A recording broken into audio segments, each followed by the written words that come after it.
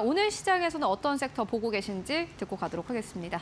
네, 오늘은 미용 의료기기 섹터를 보려고 하는데요. 뭐 향후 수년 동안 꾸준한 성장이 기대되는 만큼 주가 역시도 지금 우상향 흐름을 꾸준하게 지속 중인 그런 업종이다라고 볼 수 있겠습니다. 일단 뭐 간략하게 현황 및 투자 포인트부터 말씀드리면 어, 미, 미용 의료기기 업종은 일단 피부적 그 외과적 수술이 아닌 간단한 시술에 사용되는 의료기기를 판매 어, 제조 판매하는 그런 업종인데 뭐 에너지 원벌로 크게 어, 레이저, IPL, RF라 불리는 고주파 그리고 HIFU라 불리는 집속 초음파 기계로 분류할 수가 있습니다. 어, 레이저는 뭐 단위 파장을 갖고 있기 때문에 어, 목표하는 조직을 선택적으로 파괴할 수 있다는 장점이 있고 대다수 기업에서 장비를 생산하고 있는데 어, 대표적인 기업은 루트로닉이라고 할 수 있겠습니다.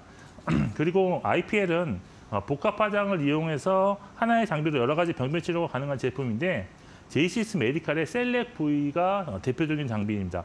고주파는 피부 조직에 전류를 가해서 열을 발생시켜서 콜라겐 재생을 유도한 제품인데 원텍, 비올 등이 생산하고 있습니다. 그리고 마지막으로 집속 초음파는 초음파 에너지를 한 곳에 집중시켜서 어, 콜라겐 재생과 피부 리프팅 효과가 나타나는 제품으로 클래시스가 대표적인 기업이라고 할 수 있습니다.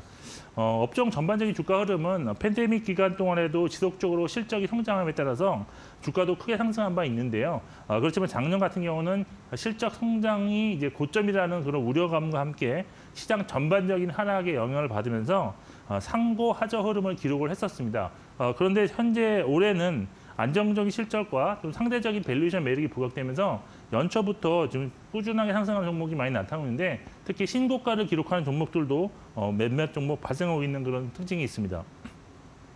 일단 올해 주가가 상승하는 원인 중에는 어, 시장 성장이 꾸준하게 진행될 것으로 어, 예상된다는 점이 있는데요. 어, 글로벌 미용 의료기 시장이 어, 과거 지난 7년간 연평균 약 13% 고성장을 기록을 했고 향후 2028년까지도 어, 연평균 14% 고성장이 전망되고 있습니다.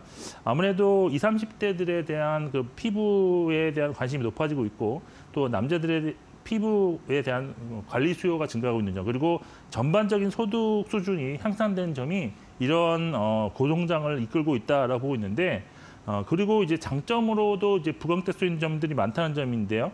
어, 외과적 수술 대비 어, 지금 비용이 좀 저렴하고 또 안전하고 또 짧은 시술 시간이 있고 그리고 흉터가 생기지 않고 회복 기간이 빠르다는 그런 장점이 있기 때문에 어, 충성도 높은 고객도 지금 지속적으로 늘어나고 있, 는 상황입니다. 어, 참고로 국가별 시장 점유율은 미국이 30%로 1위를 기록하고 있고요. 일본이 8%로 2위인데 어, 이런 거를 본다 그러면 인구가 많고 소득 수준이 높은 국가 비중이 좀 어, 글로벌하게 높은 매출 비중을 보인다라고 할 수 있겠습니다.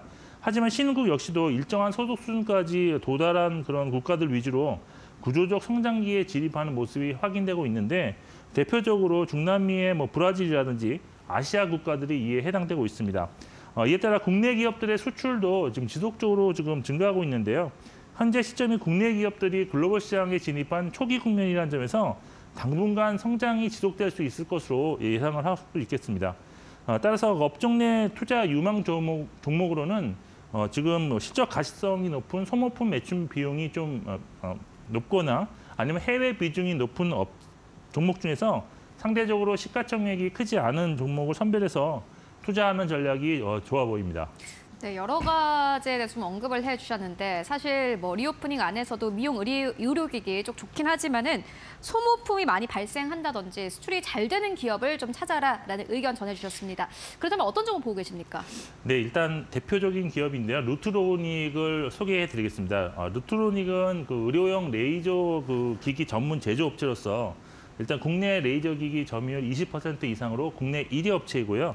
어, 수출 비중도 지금 전체 매출 중에 87%를 수출로 하고 있기 때문에 어, 이런 같은 그 업체 중에서는 수출 비중이 가장 높다고 할 수 있겠습니다. 여기에 어, 수출에서 미국향 비중이 40%이기 때문에 미국 시장에 좀 특화된 업체라고 어, 보시면 될 것 같습니다.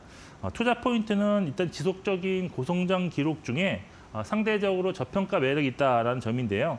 지난 2020년 영업이익 62억 원으로 흑자 전환한 이후에 그 다음해인 21년에 298억 원으로 크게 점프했고요. 그리고 22년에는 505억 원을 기록했을 것으로 좀 예상되고 있고 올해 역시 전년 대비 한 30% 증가한 658억 원의 영업이익이 기대되고 있습니다.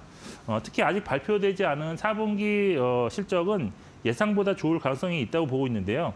어, 4분기가 일단 계절적인 성수기였고 또 평소 대비 높았던 환율로 인해서 분기 최대 실적을 예상하는 증권사 보고서도 있는 그런 상황입니다. 어, 현재 그 4분기 영업이익 컨센서스가 154억 원대로 지금 기록이 되고 있는데 그렇지만 180억 원 이상이 나올 것으로 기대하는 그런 증권사도 있어서 다음 주 발표 예상되는 4분기 실적 기대감이 단기 주가에 좀 작용될 가능성이 있다라고 보고 있습니다.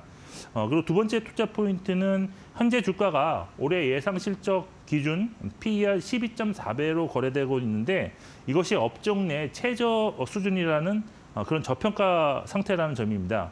현재 업종 내에서 가장 큰 시가총액을 보이고 있는 종목은 클래시스인데요.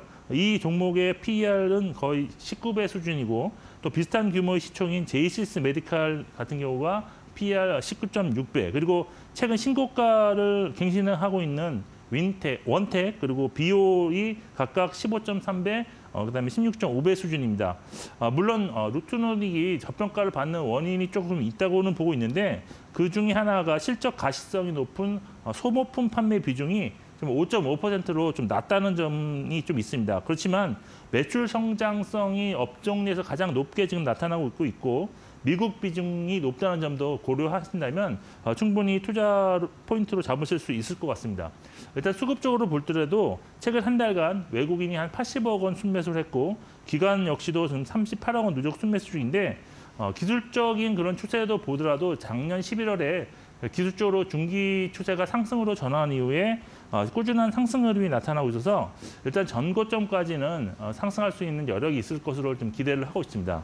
어, 가격 전략은 일단 목표 주가는 29,500원 정도 전고점 수준으로 잡으실 수 있을 것 같고요. 어, 손절가는 22,500원을 잡고 어, 대응하시면 좋을 것 같습니다. 네, 알겠습니다. 루트로닉에 대한 의견 듣고 왔습니다. 지금까지 김영재 이사와 함께했습니다. 고맙습니다.